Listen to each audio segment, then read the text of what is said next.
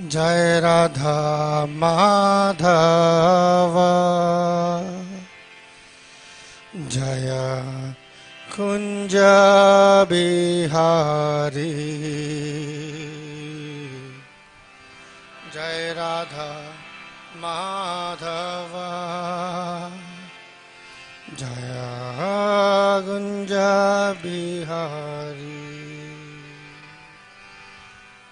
जय राधा माधव। जय कुञ्ज बिहारी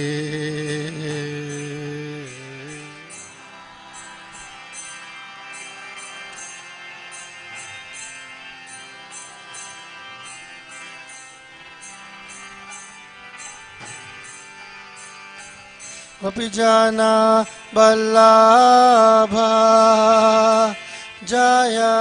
हेरे बारा धारे। जाया गिरी बारा धारी।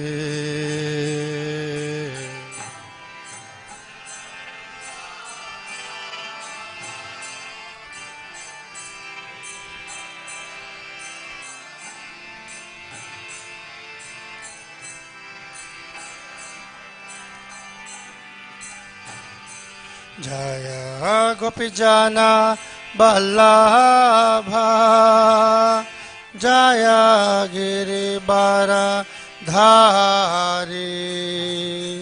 जय गिरिबर धारी।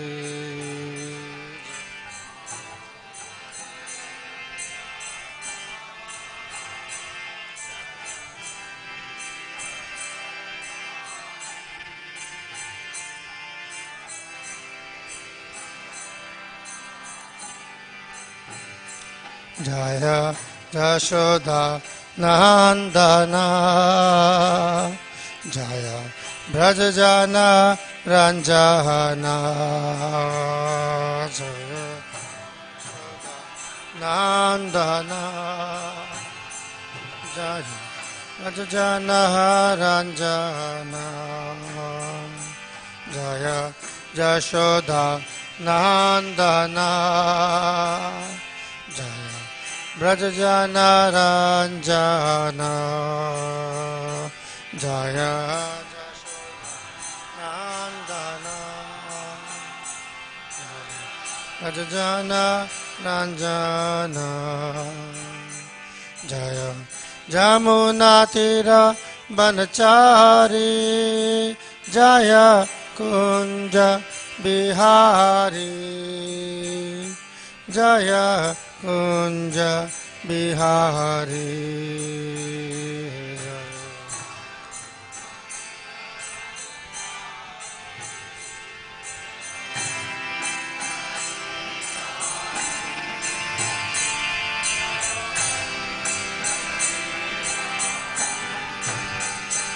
जय राधा माधव। जय कुञ्ज बिहारी।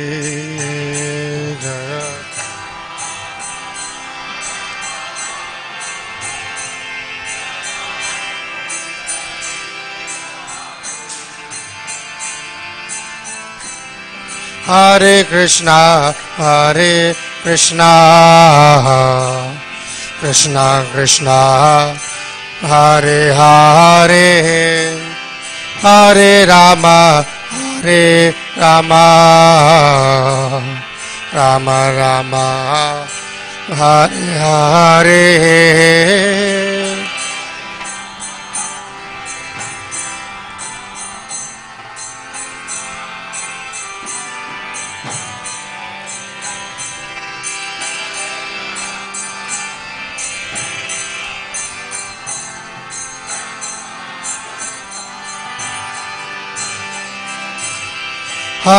कृष्णा हरे Krishna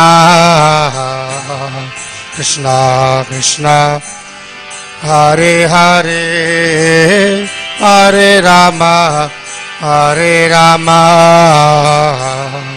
Ram Ram Hare Hare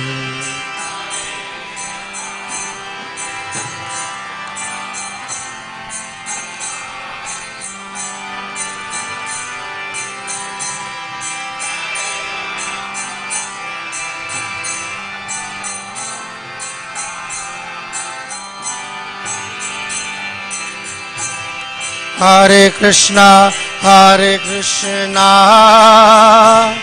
Krishna Krishna, Hare Hare, Hare Rama, Hare Rama, Rama Rama, Hare Hare.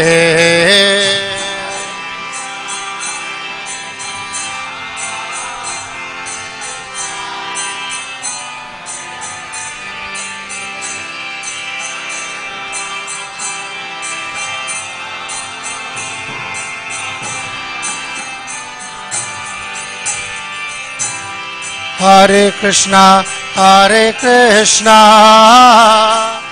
Krishna Krishna, Hare Hare Hare Rama हरे Rama. Rama Rama, Hare Hare.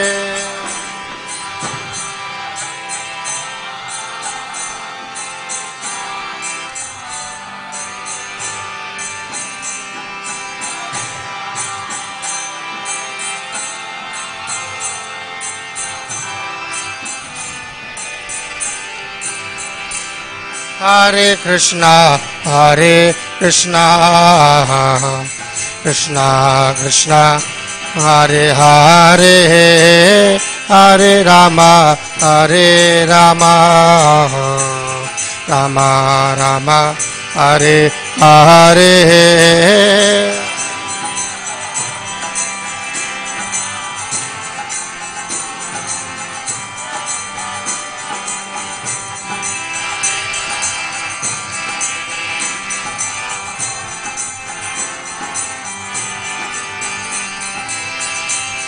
Hare Krishna, Hare Krishna, Krishna Krishna, Hare Hare, Hare Rama, Hare Rama, Rama Rama, Hare Hare.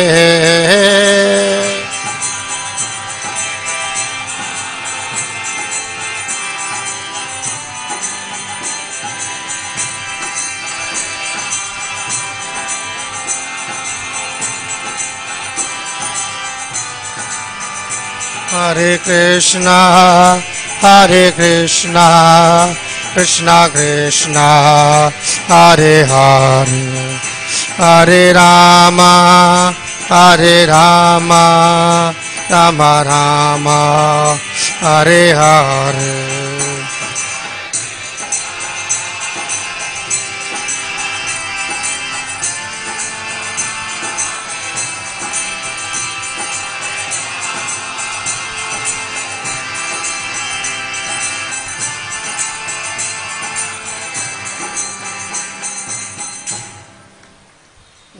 Vishnupad Paramhans परिव्राज गच्छारिष्टोत्तशत Shri Shrimad अभयचरणारविंद Bhaktivedanta स्वामी जगत गुरु शिल प्रभुपाद की जय। समस्त गुरु परंपरा की जय। नामाचार्य श्री हरदास ठाकुर की जय। प्रेम से कहो श्री कृष्णा चैतन्य प्रभु नित्यानंद श्री अद्वैत गदाधर शिवाश आदि गौर भक्त वृंद की जय। श्री श्री राधा राधिकरम भगवान की जय।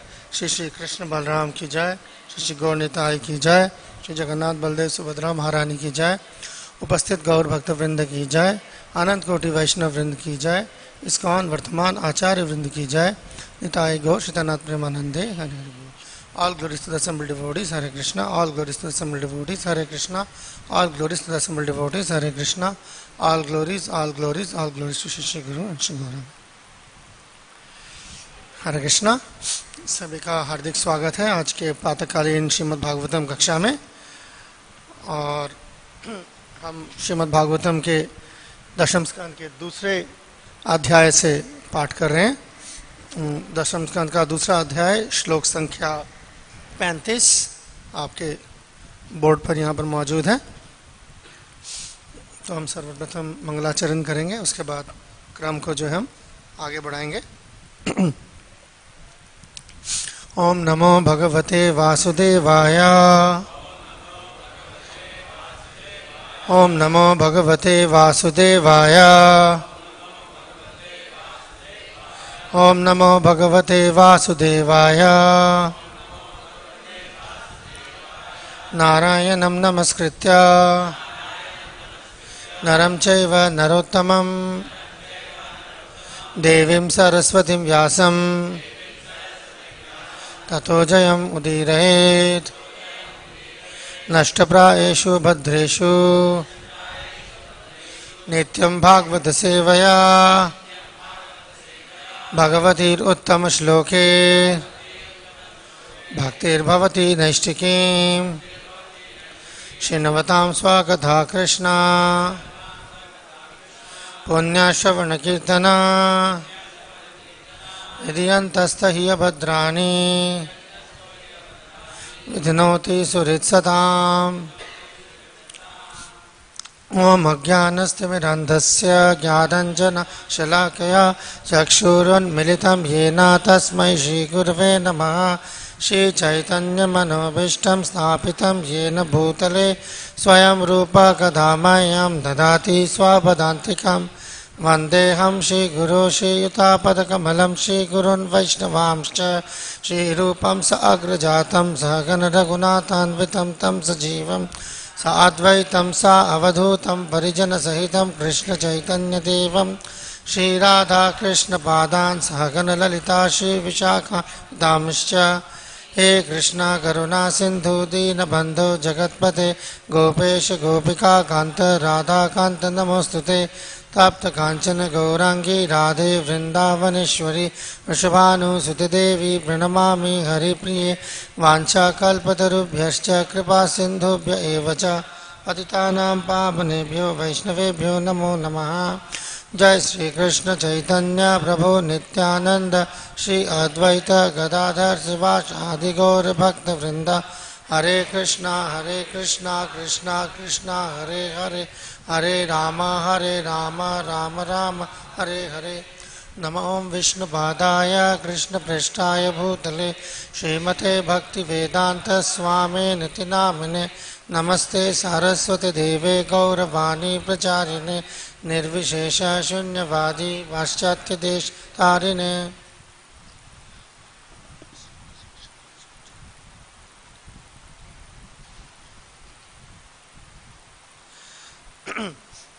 सो श्लोक संख्या पैंतीस, हम सबसे पहले श्लोक का उच्चारण करेंगे, फिर क्रम को आगे बढ़ाएँगे। अध्याय का शीर्षक है, देवताओं द्वारा गर्भस्थ कृष्ण की स्तुति।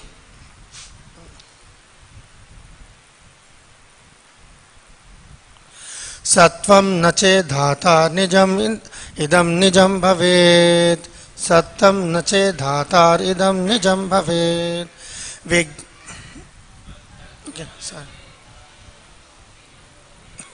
अच्छा ठीक है, दोबारा करते हैं। सत्यम न चेद्धाता निजम इदम भवेत्। आता निदम निजम भवे विज्ञानमज्ञान विधापमार्जनम गुणा प्रकाश अनुमीयते भवान्। प्रकाशते यस्य च येन वा गुणा सत्तं वचे धातार इदं निजं भवेत्।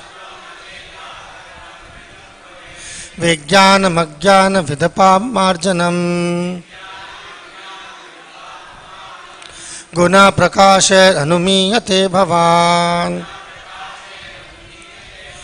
प्रकाशते येन वा गुणा सत्यं न चेद्धातार इदं निजं भवेत्। विज्ञानमज्ञानविदपामार्जनम् गुणाप्रकाश अनुमीयते भवान्। प्रकाशते यः स चैन वा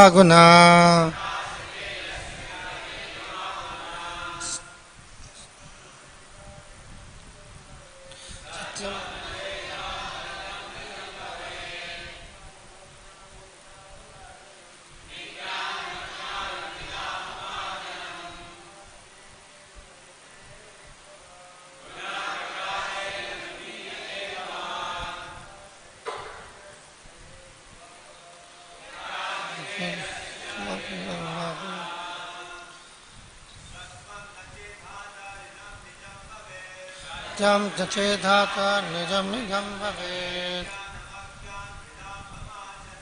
विज्ञानमज्ञान विधापमार्जनम् पुनः प्रकाशे धनुमीयते भवान्। प्रकाशते यस्य च ये वागुना माताओं में से कोई?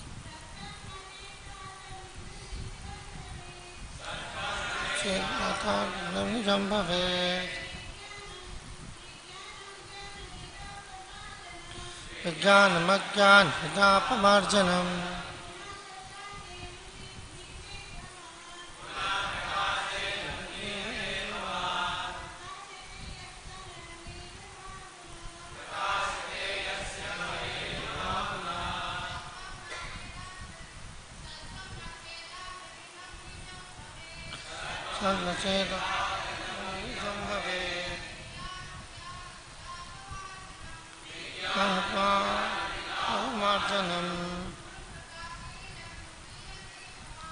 पुनः प्रकाशे अनुमीयते भवान्। यस्य च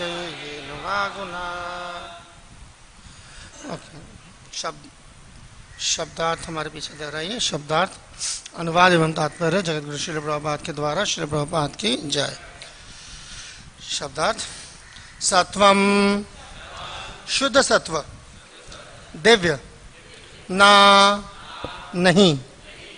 चेत, यदि, धात, समस्त कारणों के कारण इदम यह निजम मेरा, आध्यात्मिक, भवेत, हो जाता, विज्ञानम दिव्य ज्ञान अज्ञान भिदा तमगुण को भगाने वाला।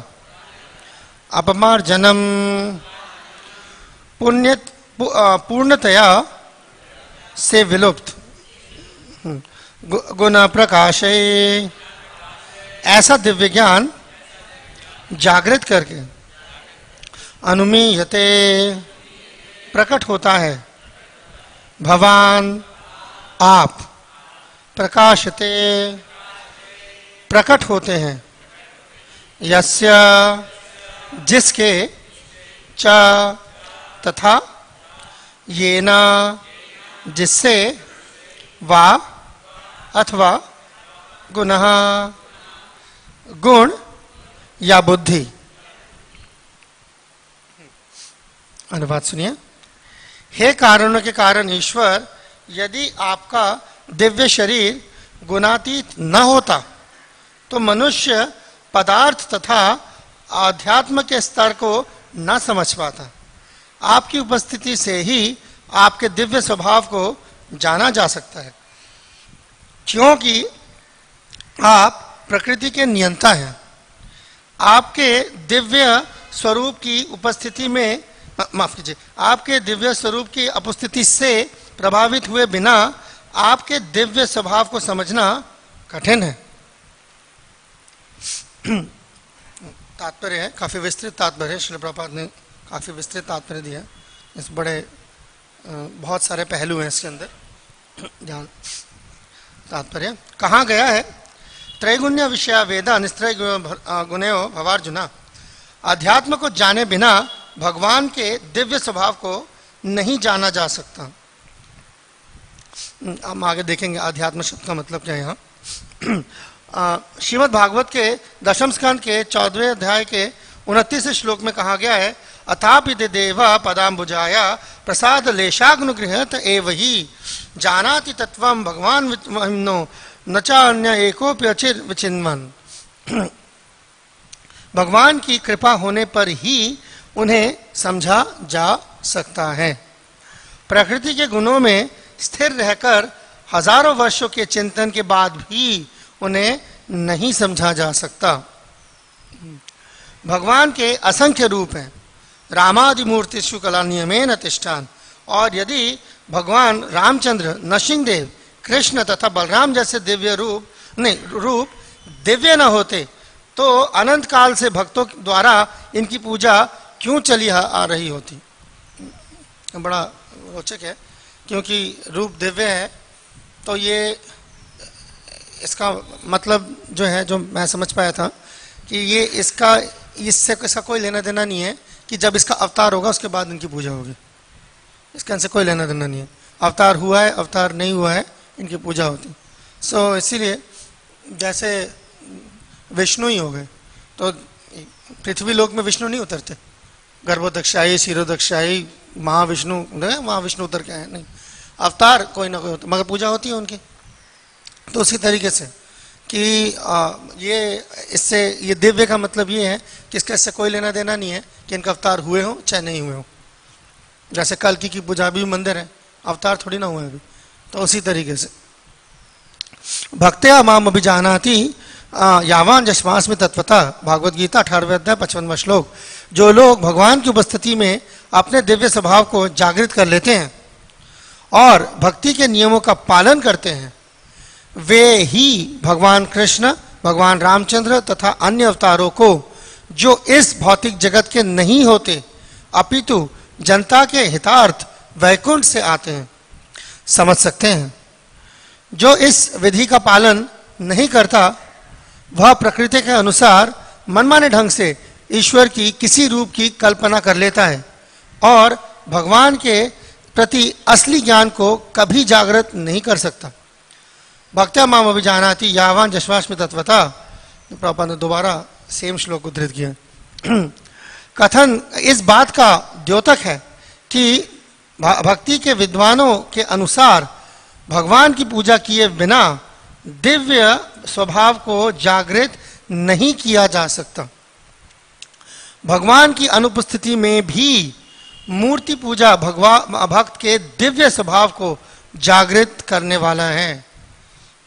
जिसके, जिससे भक्त भगवान के चरण कम, के चरण कमलों में और अधिक अनुरक्त हो जाता है। बड़ी कृष्ण के प्रादुर्भाव से भगवान की समस्त काल्पनिक मूर्ति कला का उत्तर कृष्ण के प्रादुर्भाव से भगवान की समस्त काल्पनिक मूर्ति कला का उत्तर मिल जाता है। आइकोनोग्राफी। अंग्रेज़ी में और तरीके से लिखा हुआ है। एनीवे anyway, प्रत्येक व्यक्ति अपने गुणानुसार भगवान के स्वरूप की कल्पना करता है। ब्रह्म संहिता में कहा गया है कि भगवान सबसे प्राचीन पुरुष है। इसलिए अब बड़े सारे प्रपाद ने जो है यहाँ पर आर्गुमेंट्स दिए छह आर्गुमेंट्स है कम से कम। इसलिए कुछ धार्मिक समुदाय ईश्वर को अत्यंत प्राचीन मानते हैं। अतः वे ईश्वर का अंकन एक अत्यंत वृद्ध पुरुष के रूप में करते हैं। बड़ी बड़ी दाढ़ी, सफ़ेद दाढ़ी। किंतु उसी ब्रह्म संहिता में इसका विरोध हुआ है। यद्यपि ईश्वर समस्त जीवों में प्राचीन है, किंतु साथ ही वे नित्य युवा हैं।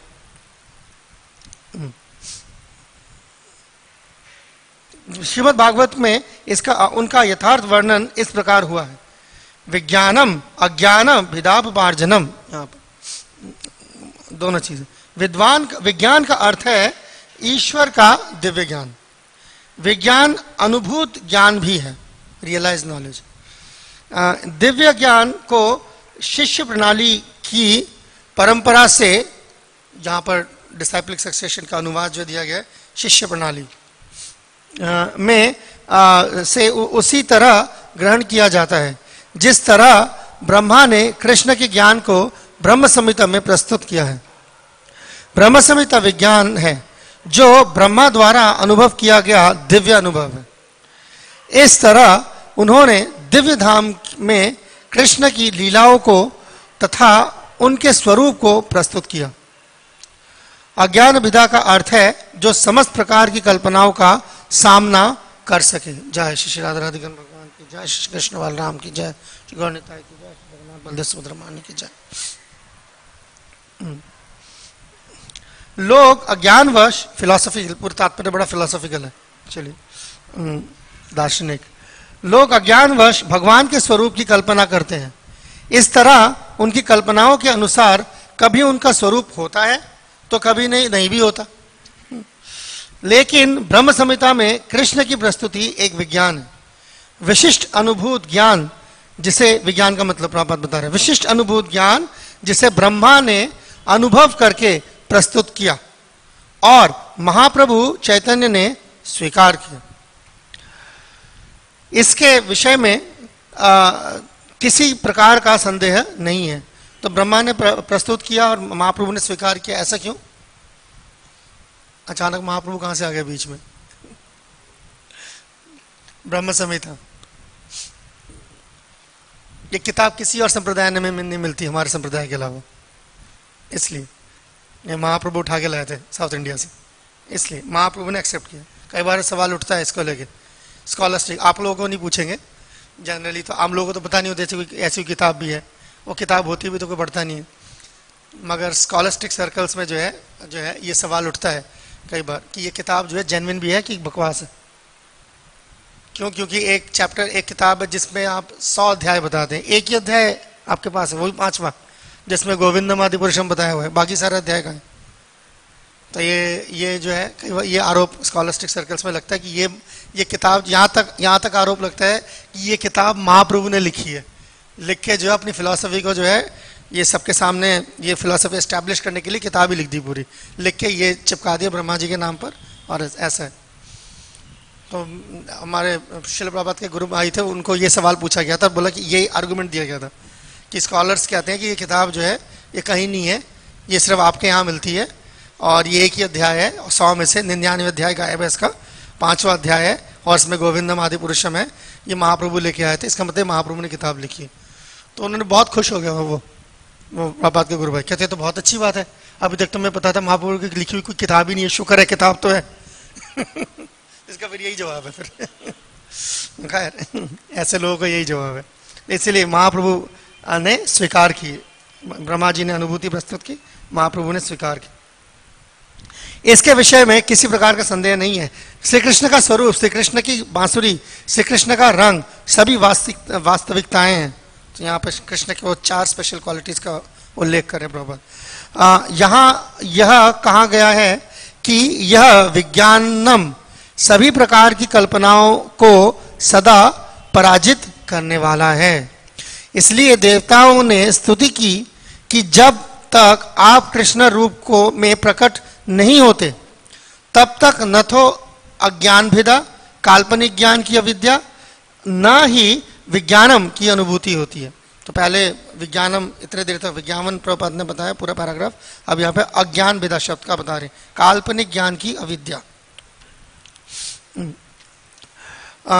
अज्ञान भिदापमार्जनम आपके प्राकट्य से अज्ञान की कल्पना लुप्त हो जाएगी।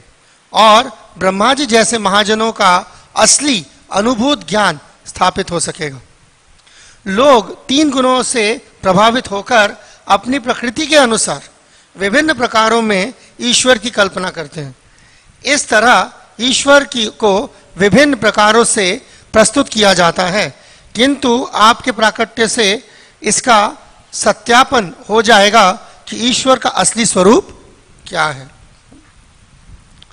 ओके निर्विशेषवादी सबसे बड़ी भूल यह सोचने की, की करते हैं कि जब भगवान अवतरित होते हैं ये बड़ा इंपॉर्टेंट है तो सतोगुणी पदार्थ का रूप स्वीकार करते हैं।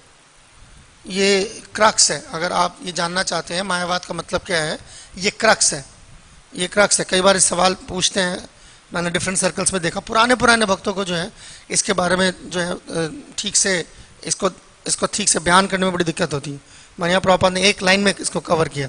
निर्विशेषवादी की सबसे बड़ी यू मैं इसलिए दोहरा रहा हूँ। निर्विशेषवादी की सबसे बड़ी भूल ये सोचने की है कि जब भगवान अवतरित होते हैं तो सतोगुणी पदार्थ का रूप स्वीकार करते हैं। The difference between satoguna and shuddha sattva. लोगों का ये समझना है कि जब ये सतोगुण 100 परसेंट क्लीन हो जाता है तो शुद्ध सत्व बन जाता है। सतोगुण जब 100 परसेंट सतोगुण होता है तो शुद्ध सत्व कहते हैं। बिग, बड़ा कांटा लगा लीजिए। बिल्कुल और चीज़ है। उसका सतोगुण का शुद्ध सत्व से कोई लेना देना नहीं है। बिल्कुल कोई लेना देना नहीं है। इतना सा भी लेना देना नहीं है। आप 100 percent two hundred percent five hundred percent जिस तरह मर्ज़ी इसको साफ़ करते रहिए। जब आप जिस चीज़ को साफ़ करते हैं, इसका मतलब एसेंशियली गंदा है। जब आप कह रहे हैं कि इसको साफ़ किया गया प्यूरिफाइड बाबा जहाँ पे इस्तेमाल करते हैं, जहाँ पर वर्ड प्यूरिफाइड है, इसका मतलब है वो भौतिक है। खत्म। प्योर वर्ड भौतिक के लिए इस्तेमाल होता है स्पिरिचुअल होगा वो, आध्यात्मिक है। ओके वस्तुतः कृष्ण या नारायण का स्वरूप किसी भी भौतिक विचार से परे होता है। यहाँ तक कि सबसे बड़े निर्विशेषवादी शंकराचार्य ने भी स्वीकार किया। नारायण परो अव्यक्तात्, ये जो अव्यक्तात् शब्द है, ये शुद्ध सत्व है। अव्यक्त शब्द अव्यक्ता शब्द, हमारे देखेंगे, हमारे आचार्य जो है, खासतौर पर सनातन गोस्वामी अव्यक्त शब्द की परिभाषा जो है शुद्ध सत्व से दे रहे इसका कोई लेना देना नहीं है, सत्व गुण से। यह भौतिक सृष्टि अव्यक्त द्वारा की जाती है। समझा अव्यक्त द्वारा सृष्टि की जाती है, यानी शुद्ध सत्व। और किसी, कृष्ण किसी भी भौतिक विचार से परे है। श्रीमद् भागवतम में इस इससे ही शुद्ध सत्व या दिव्य कहा गया है। अव्यक्त को शुद्ध सत्व कहा भागवतम में। सत्वम विशुद्धम वासुदेव शब्दितम हम्म, विशुद्ध सत्व। भगवान सतोगुणी नहीं है क्लियर बिल्कुल। क्योंकि वे भौतिक सतोगुण पद से ऊपर है वे सच्चिदानंद स्वरूप है। देवताओं की ने स्तुति की। हे प्रभु जब आप विभिन्न अवतारों में प्रकट होते हैं तो परिस्थितियों के अनुसार भिन्न भिन्न नाम तथा स्वरूप धारण करते हैं। आपका नाम भगवान कृष्ण है क्योंकि आप सर्व आकर्षक हैं। ये देखिए परिस्थितियों के द्वारा के के अनुसार भिन्न भिन्न नाम। सो so, जैसे बाइबल में कहा जाता है God has no name absolutely true है। भगवान का अपना कोई नाम नहीं है। भगवान के नाम जो है परिस्थितियों के अनुसार है। यहाँ क्यों ठीक है? जैसे कि सबसे जो ऐसे देवता, जो देवता खुद ही जो है इसका उदाहरण दे रहे हैं, आपका नाम भगवान कृष्ण है। क्यों? क्योंकि आप सर्व आकर्षक हैं। हर, वजह होगी। आप श्याम सुंदर कहलाते हैं। क्यों? क्योंकि आपका सौंदर्य दिव्य है। श्याम का अर्थ सांवला है। फिर भी वे कहते हैं कि आप हज़ारों कामदेव से अधिक सुंदर हैं। कंदर्प कोटि कमनीय यद्यपि आप श्याम मेघ जैसे रंग वाले हैं, किंतु आप पर ब्रह्म हैं। अतएव आपका सौंदर्य कामदेव के कोमल शरीर से भी अधिक आकर्षक है। आप कभी कभी गिरधारी कहलाते हैं। क्योंकि आप, क्यों कहलाते हैं गिरधारी? क्योंकि आपने गोवर्धन पर्वत को उठाया। आप कभी कभी नंदन नंदन वासुदेव देवकी नंदन कहलाते हैं। क्यों? क्योंकि आप महाराज नंद, देवकी या वसुदेव के पुत्र के रूप में प्रकट होते हैं। निर्विशेषवादी सोचते हैं कि आपके अनेक नाम या स्वरूप आपके कार्य विशेष के अनुसार होते हैं, क्योंकि वे आपको भौतिक दृष्टि से देखते हैं। ये पूरा का पूरा पैराग्राफ जो है, हमारे ये एक्सक्लूसिवली शिलो प्रभात ने लिखा ये किसी भी पूर्ववर्ती आचार्य की टीका से नहीं मिलता। ये शिलो प्रभात ने बरबट दिया इस पूरे बात को समझाने के लिए। पूरा पैराग्राफ। एक्सक्लूसिवली प्रभात है।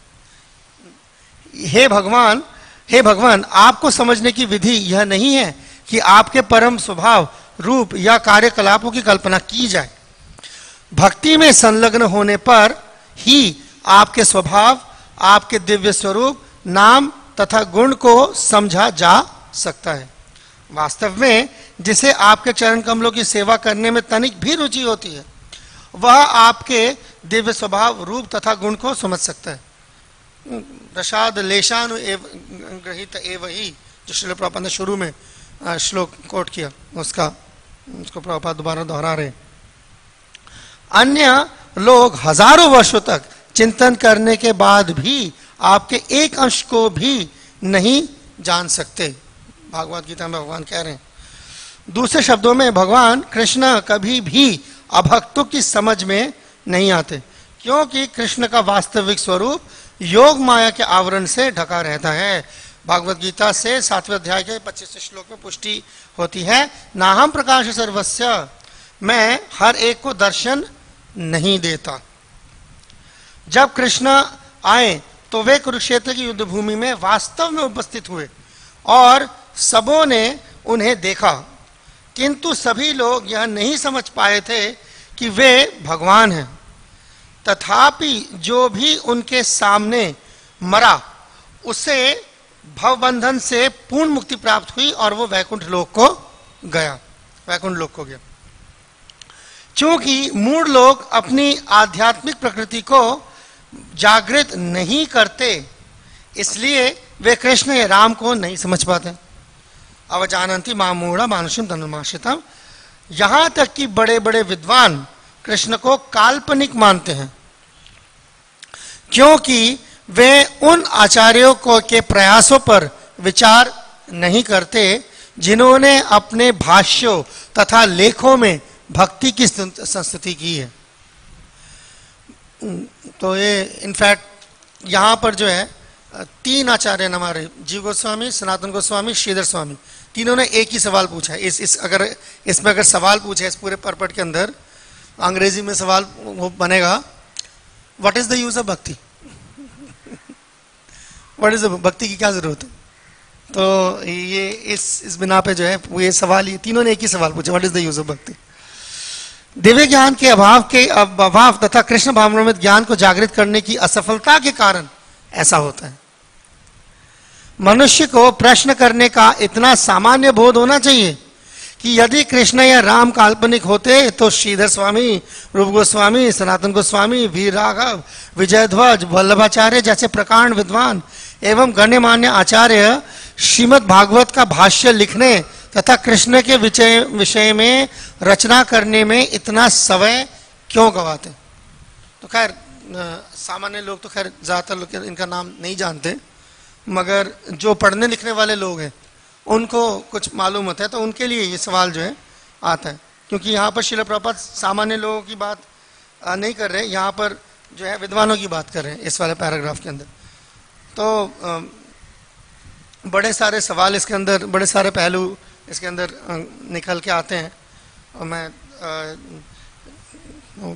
टाइम ज़्यादा नहीं है हैव टू फिनिश एक्चुअली पूरा का पूरा जो तात्पर्य है तात्पर्य तात्पर्य प्रपात ने, क्योंकि हमारे पूर्ववर्ती आचार्य ने भी तात्पर्य को इस तरीके से लिखा है, जैसे कि जैसे कि मान लो कि आप डिफेंसिव हो गए हो।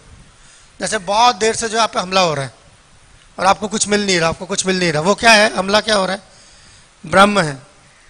ठीक है? अब ब्रह्म ब्रह्म क्या है? ब्रह्म जो है, वो ब्रह्म की कल्पना नहीं हो सकती। ब्रह्म की व्याख्या भी नहीं हो सकती। बिल्कुल ठीक है?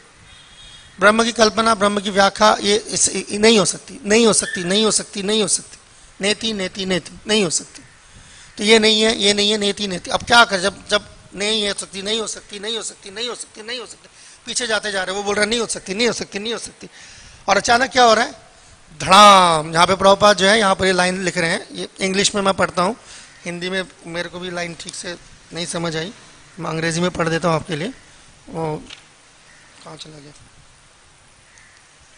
प्रभात का पैराग्राफ शुरू हो रहा है The appearance of Krishna is the answer to all imaginative iconography of the Supreme Personality of Godhead. Answer to all imaginative iconography. तो ये है जवाब। हमारा जवाब क्या है? हमारा जवाब है सीधा कृष्ण का अवतार। अब क्या जवाब अब क्या बोलोगे? ब्रह्म की कल्पना नहीं हो सकती। ब्रह्म का आकार की कल्पना जब नहीं कर सकते, उसके आकार, कोई भी चीज़, कोई भी एट्रीब्यूट्स नहीं है। आप नहीं बता सकते, नहीं बता सकते, नहीं बता सकते। धड़ाम सामने से आते ये रे कृष्णा, अब बता। तो इस तरीके से, अब बता, अब क्या करेगा? अब बता। ये रे, इनकी कल्पना भी हो सकती है, इनकी आकार भी है, इनका रूप भी है, इसलिए पूरा पैराग्राफ शिल प्रबंध तो इस लाइक इसे काउंटर वेट देना। तो बहुत देर से जो है, सुने जा रहे नहीं हो सकती, नहीं हो सकती। बिकॉज़ बात ठीक है, ब्रह्म की कल्पना नहीं हो सकती। मगर भगवान तो यानी कि भगवान का जो पूरा मतलब डेफिनेशन है, जो भगवान की अकल्पनीय जो हिस्सा है दैट इज़ द ब्रह्म और जिस चीज़ की, और जो वर्णनीय हिस्सा है, कल्पनीय नहीं बोलूँगा, वर्णनीय जो हिस्सा है दैट इज़ भगवान। जिसका वर्णना नहीं कर सकते, वो ब्रह्म है, जिसकी वर्णना कर सकते हैं भगवान है। तो दैट इज़ वो सर्कल को पूरा करता है। तो यहाँ से, इसलिए यहाँ पर इतने देर से जो शिल प्रपात उसके बाद भगवान के रूप, भगवान के नाम, उस पर जो है, उस पर स्ट्रेस करे जा रहे हैं। क्योंकि ये जो श्लोक है, जैसे आप जानते क्योंकि इसका अध्याय का शीर्षक ही यही है कि देवताओं द्वारा प्रार्थना। तो इस श्लोक में खासतौर पर हमारे पूर्ववर्ती आचार्य विश्वनाथ चक्रवर्ती बात कह रहे हैं कि चूँकि यहाँ पर जो है उनके आध्यात्मिक शरीर की जो है वर्णना का वर, की वर्णना हो रही है। कहाँ गया? हाँ। ये रहा ना? यदि आपका दिव्य शरीर गुणातीत न यदि आपका शरीर तो ये विश्वनाथ चक्रवर्ती बात कह रहे हैं कि जो हमारे पूर्ववर्ती आचार्य है वो देवकी के मतलब गर्भ में है ना भगवान? तो देवकी के गर्भ में उंगली से इशारा करके दिखा रहे। अगर ये आपकी इट्स लाइक स्पेसिफिक तो इस तरीके से विश्वनाथ चक्रवर्ती बात बताने की वो भाव निकल के आ रहा है। और उसी तरीके से जो आपके सनातन गोस्वामी हैं तो वो बता रहे कि देवता बड़े खुश हैं इस वजह से कि वो मुँह तोड़ जवाब उन लोगों को मिलता है कि जो कहते हैं भगवान की वर्णना नहीं हो सकती। ब्रह्म की वर्णना नहीं हो सकती। तो वो इसलिए उनके वॉइस मॉड्यूलेशन हो रहा है कि खुश जैसे बंदा होता है ना प्रार्थना जब करता है तो बंदा बहुत ही आ, न, न, कैसे मैं बताऊँ उसको आ, बड़े धीर शांत भाव से बंदा प्रार्थना करता मगर अभी प्रार्थना के अंदर जब वो जज्बात निकल के आ रहे हैं तो आवाज़ तेज़ हो गई है देवताओं की। सनातन गोस्वामी ऐसा बता रहे हैं। तो इस तरीके से आ, ये निकल के आ रहा है कि जब अगर अदरवाइज़ क्योंकि जहाँ पे ये जैसे है ना कि नहीं तो ये पूरे जितने भी अवतार हैं अवतारों का माने का क्या मतलब अदरवाइज़ अवतारों के आने का मतलब ये है कि वो उस, उस उसका जवाब है कि जिसकी वर्णना नहीं हो सकती तो उसके अवतार की ज़रूरत भी नहीं है। पर जिसकी वर्णना हो सकती है वो हो ही इसलिए सकती है क्योंकि उनका अवतरण हो रहा है। तब जाके उनकी वर्णना हो रही है। तो दोनों एस्पेक्ट तो जब भगवान का जो ये यहाँ पर एक कई सारे चीज़ें एक्चुअली मैं और कवर नहीं करूँगा क्योंकि टाइम ऑलमोस्ट हो गया है। मगर यहाँ पर प्रपात के तात्पर्य में बीसियों चीज़ें दो सवा सवा पेज का तात्पर्य फिर इसी वजह से कि जैसे भगवान को देखना ये इस, इसका जो है काफ़ी देर तक प्रपात यहाँ पे भगवान को दर्शन देने पे काफ़ी कुछ लिखा प्रपात ने कि भगवान सबको दर्शन नहीं देते। यानी कि भगवान किस किस को दर्शन देते हैं। तो तो ये आखिरी का पैराग्राफ जैसे कि जिसका कृष्ण भावना में जग गया है। उसको दर्शन देते तो कृष्ण भावना में जगने का क्या मतलब होता है? एक्चुअली अवेकनिंग जो है अवेकनिंग कृष्ण कॉन्शियसनेस तो इसका मतलब शुरुआत तो ये हो गया कि श्रद्धा, हालाँकि शुरुआत में प्रपात ने बोला, जिसके पास थोड़ी सी भी श्रद्धा है, जिसका थोड़ा सा भी ये रुझान है तो वो मुझे प्राप्त कर सकता है। तो वो ये जो दिव्य ज्ञान है, जो कि यहाँ पर, इसलिए इस श्लोक में दोनों शब्द काफ़ी देर से, विज्ञानम, अज्ञानम। यानी, विज्ञान का मतलब जो भगवत साक्षात्कार जिससे होता है, और इसलिए साक्षात्कार, इसलिए भगवत साक्षात्कार शब्द आएगा, इसलिए साक्षात्कार को दो पैराग्राफ प्रपात ने पूरा उसको की व्याख्या की कि साक्षात्कार का मतलब है अनुभूति। अनुभूति। अब वो अनुभूति कैसे आती है? श्री प्रभात उससे पहले कह रहे हैं कि व्यक्ति जो है, जो ये आध्यात्मिक ज्ञान, यानी कि पूर्ववर्ती आचार्यों के इसके, इसको इसको पढ़ के, सुन के, समझ के और सेवा करके और सेवा कैसे करके, आप उसकी सेवा कैसे कर सकते हो, जो मौजूद ही नहीं है? तो ये सबसे बड़ा पैराडॉक्स है कि आप कह रहे हो भगवान की सेवा, भगवान तो मौजूद ही नहीं आपके सामने तो सेवा सेवा उसकी हो सकती है जिसकी मौजूदगी हो। तो इसलिए शिल प्रपात इसका जवाब वहाँ पर दे रहे हैं शुरू में ही। मैं अंग्रेज़ी में पढ़ रहा हूँ। Deity worship in even in the absence of the supreme personality of God भगवान के अनुपस्थिति में भी, यहाँ पर शिल प्रपात यहाँ पर लिख रहे हैं। भगवान की अनुपस्थिति में भी, मैंने किताब में तो नहीं मार्क किया। पहले पहले पैराग्राफ में ही है। ये रहा, पहले पैराग्राफ का आखिरी लाइन। भगवान की अनुपस्थिति में भी मूर्ति पूजा भक्त के दिव्य स्वभाव को जागृत करने वाली है। तो ये तो ये उसका क्रक्स मतलब उसका क्रक्स नहीं है, ड्रिफ्ट है, उस तरफ़। और उसके बाद क्या है, और यहाँ पे उसके बाद लिख रहे हैं जिस जिससे भक्त भगवान के चरण कमलों में और अधिक अनुरक्त हो जाता है और अधिक लिखा है इंग्लिश में लिखा है बिकम्स इंक्रीजिंगली अटैच्ड इंक्रीजिंगली शब्द का थोड़ा मतलब और, और होता है। इंक्रीजिंग का मतलब है कि क्रम क्रम से क्रमिक। धीरे धीरे धीरे धीरे वो बढ़ता चला जाता है। जबकि भगवान उस तरीके से मौजूद नहीं है जिसकी सेवा हो सके।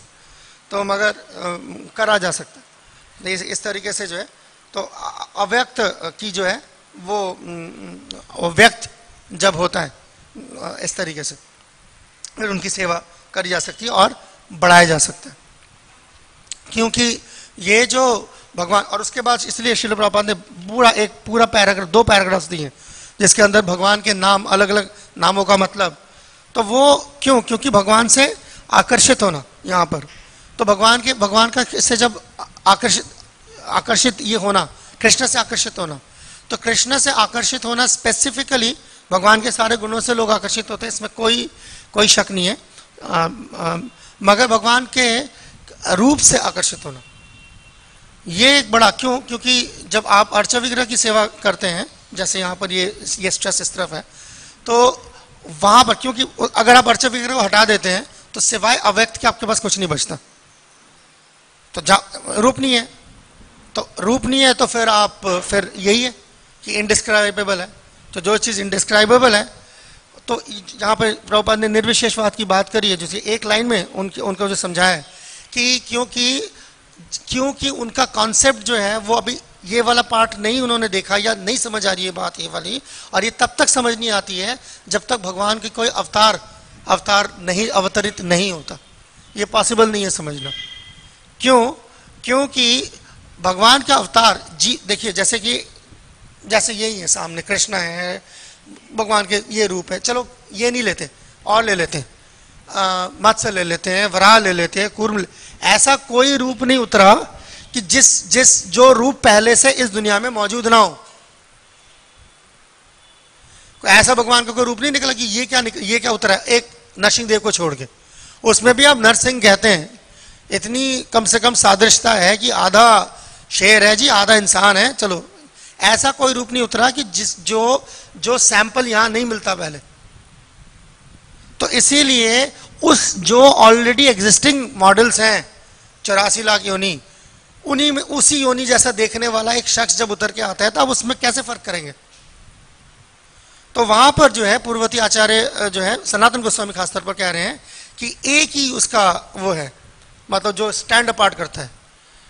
इनकंसीवेबल स्ट्रेंथ ऐसी ताकत जो कि मुमकिन नहीं है किसी जीव के अंदर। तो वहाँ पर सिर्फ़ ताकत है। भगवान को जानना चाहते हो भगवान की वो ताकत अब इन जितने भी अवतार है आप उनमें उनकी ताकत देख लीजिए। एक मछली की ताकत सोच लीजिए और मीन अवतार की ताकत सोच लीजिए। एक सुअर की ताकत सोच लीजिए और वरादेव की ताकत सोच लीजिए। एक, क्या नाम है, कछुआ सारी दुनिया हस्ती है। और कूर्मदेव की ताकत समझ लीजिए। एक इंसान की ताकत समझ लीजिए और एक गोवर्धन उठाने वाले गिरधारी की ताकत समझ लीजिए। तो इसलिए वो नाम शिल प्रभात ने कृष्ण के वो सारे नाम इस्तेमाल किए। जब ये अवतार को जो है, ये यानी कि ये साबित करता है, ये सतगुण का मामला नहीं है। ये शुद्ध सत्व का मामला है।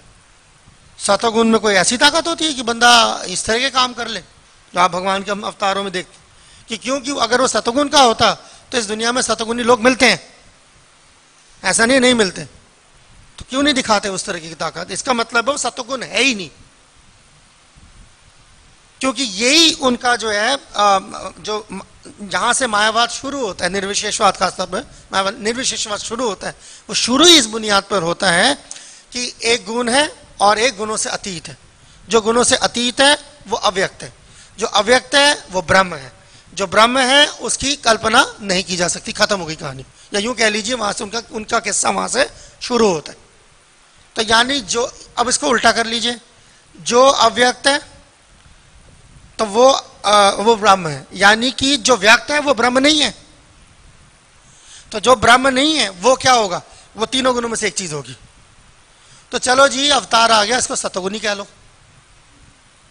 तो ये उनका सिस्टम मैं दोबारा दोहराता हूँ उनका सिस्टम क्या है?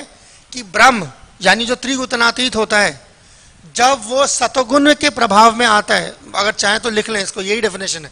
अगर ब्रह्म जो कि त्रिगुणों से अतीत है, वो जब सतगुण के प्रभाव में आता है तो वो अवतार बनता है।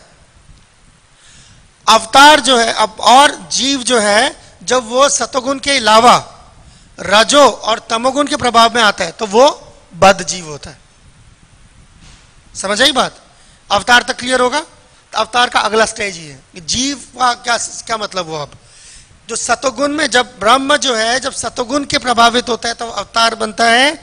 जब ब्रह्म रजो और तमोगुण के साथ में प्रभावित होता है तो वो जीव बनता है। इसलिए वो कहते हैं, ब्रह्म सत्य, जगत मिथ्या जीव ब्रह्म एवं ना परा यानी कि जब उसका जीव का सतो, तमोगुण, रजोगुण, सतोगुण हटा लेंगे तो वो ब्रह्म बन जाएगा। उसी तरीके से कि जैसे कि वो अवतार है वो सतोगुण में, ब्रह्म सतोगुण में आया तो अवतार बना था, उसका सतोगुण हटा लीजिए, अवतार वापस ब्रह्म बन जाएगा। समझ आई बात? इसीलिए वो दिखाते हैं, निर्विशेष से निराकार से साकार निकल के आ रहा है। निर्विशेष ब्रह्म से जो अवतार निकल के आ रहा है। पेंटिंग्स देखी होगी आपने, बड़ी सी लाइट होती है, उसके बीच में से अवतार निकल के आ रहा है। उनका सारा जो सिस्टम है, वो इस पे बेस्ड है। पीछे एक गोला बना होगा, जब आप देखेंगे, हमारे सिर्फ़, हमारे संप्रदाय में जो है, हम वो पेंटिंग नहीं करते हैं। मगर आप बाहर जाएँगे, सारी संप्रदाय की पेंटिंग होती यही है। पीछे एक गोला बना होगा, इस तरीके का एक पीछे गोला बना होगा और उसका क्या मतलब है? उसका आप समझते होंगे कि उसका मतलब है तेज निकल रहा। है तेज तूज नहीं है उसका मतलब। उसका सटल मतलब यह है, वो ब्रह्म निराकार, ब्रह्म से साकार निकल के आया है। ये मतलब है इसका।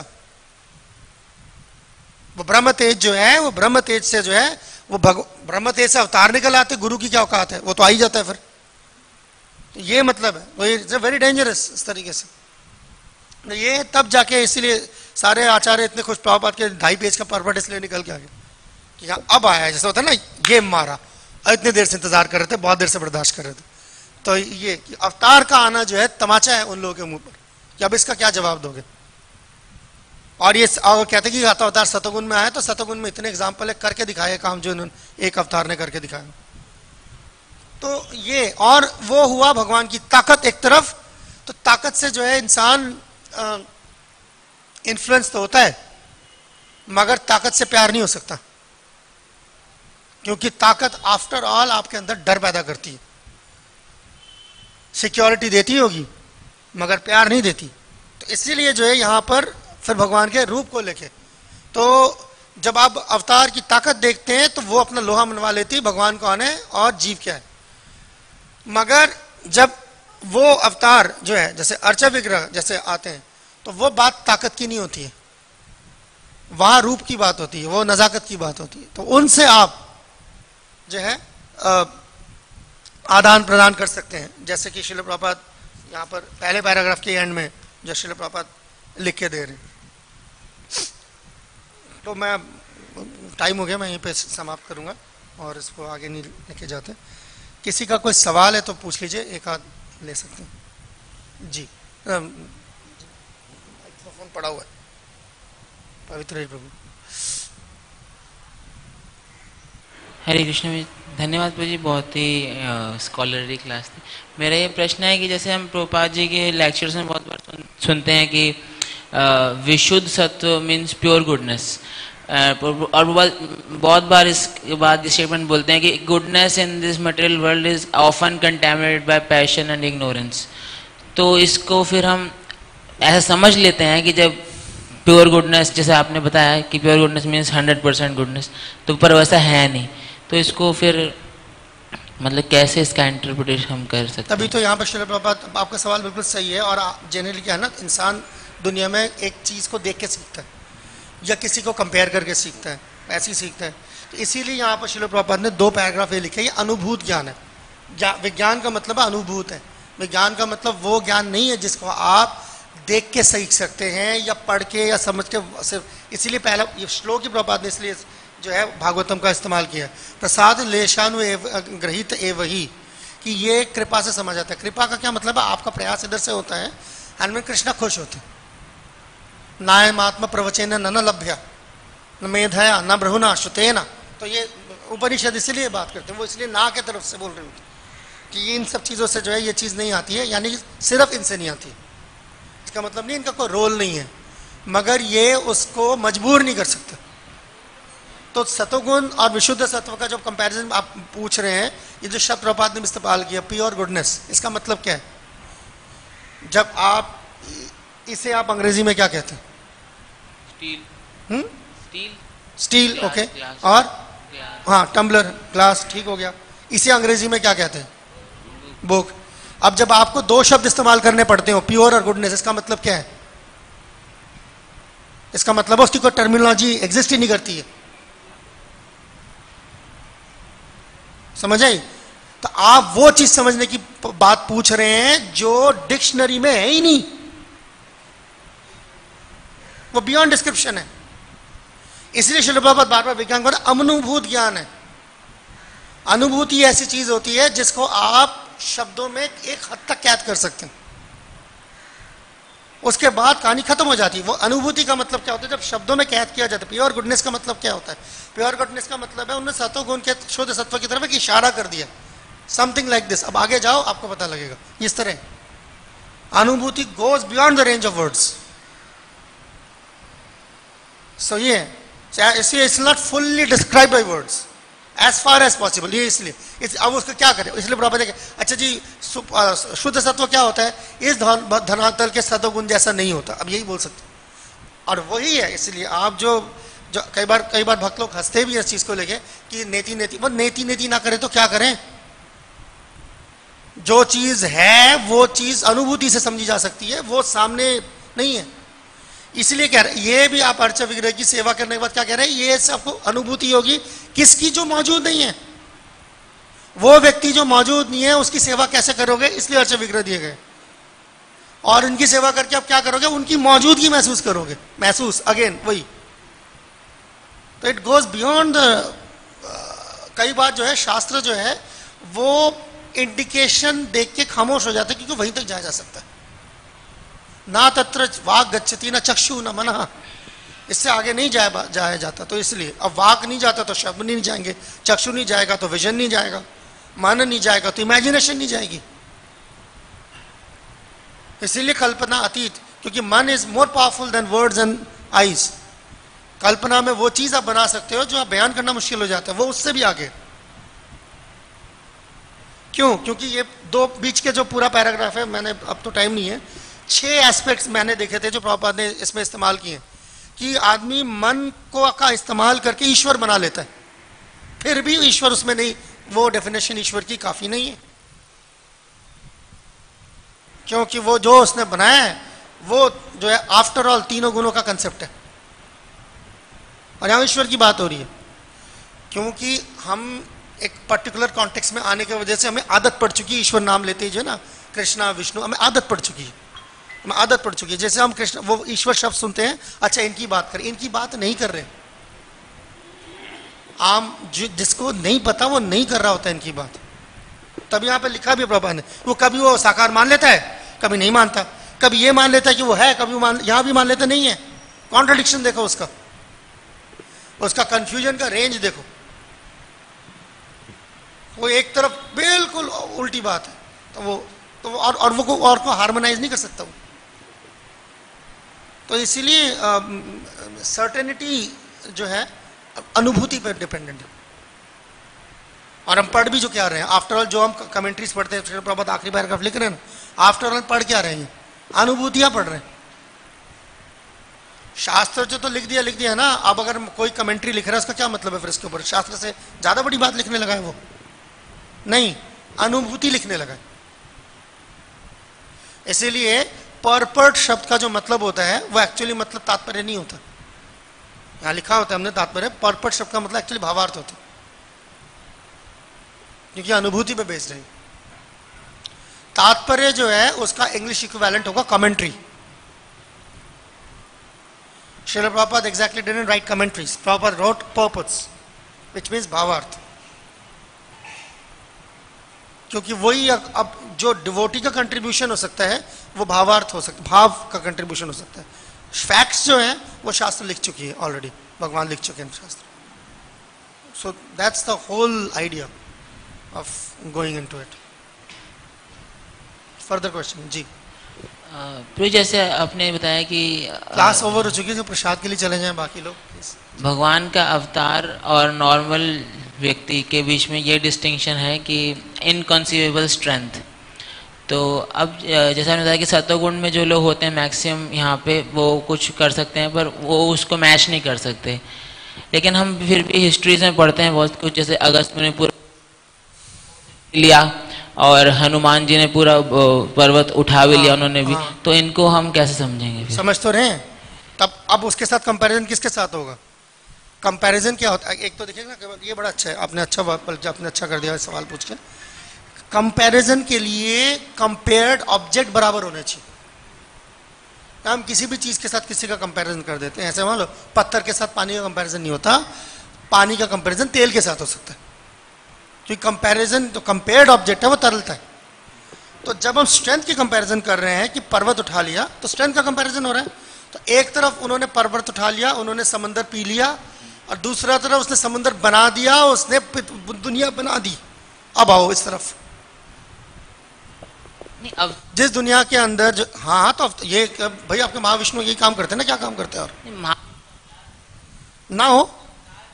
ना हो भगवान का वो है ना आ, क्या कहते हैं एक्सपेंशन है ना? तो ठीक है। ना हो तो क्या हुआ? मतलब हमने अवतार और नॉर्मल जी इनकस्टमेबल स्ट्रेंथ है ना। तो अब अवतारों की स्ट्रेंथ को आप इसका देख लीजिए। अवतारों का जब स्ट्रेंथ कंपैरिजन में आता है तो जनरली इस तरीके का आम आदमी की स्ट्रेंथ भगवान अगर किसी को अपनी शक्ति देते हैं, जैसे हनुमान जी को देते हैं, कुछ जगह पे आप कर सकते हो कंपैरिजन इस तरीके से, क्योंकि वो लॉजिक और तरीके से जारी है। आप कह सकते हो जी, ये हनुमान जी ने छलांग मार के पार कर ली, ये रामचंद्र ने छलांग मार के क्यों नहीं पार करी? उनको समंदर का सेतु बनाना पड़ा। अरे बात यही तो है कि उन्होंने समंदर पर सेतु बाँध दिया। ये बात हो रही है। अब वो बाँध के दिखाते सेतु सेतु आप समझ रहे कंपैरिजन इस तरफ़ से जा रहे हैं कि अगर उन्होंने जो है गनमादन क्या कहते पर्वत उठा के उठा के ले आए तो हम देखते हैं कृष्ण के इसमें वो गोवर्धन सात दिन तक बच्चा उठा के बांगे, बाएँ उंगली उंगली में उठा के रखा हुआ उसने। तो कंपैरिजन इस तरीके से जाएगा। ये नॉट दैट कि और क्रिएशन भी, जैसे आप बिल्कुल कह सकते हैं इसको। ऐसा नहीं कि क्रिएशन को आप इसके अंदर नहीं ला सकते। जैसे आप उनको देख लें अब पृथु महाराज हैं। एक घोड़ा उन्होंने क्या दौड़ाया? रथ के साथ सातों धुई पलक हो गए। So those are inconceivable strength अवतारों का जीव के साथ। थैंक यू ठीक है। सबका बहुत बहुत धन्यवाद। ग्रंथराज श्रीमद भागवतम की जाए जगत गुरु श्री प्रपात की जाए उपस्थित गौर भक्तवृंद की जाए ताई गौर प्रेमानंद।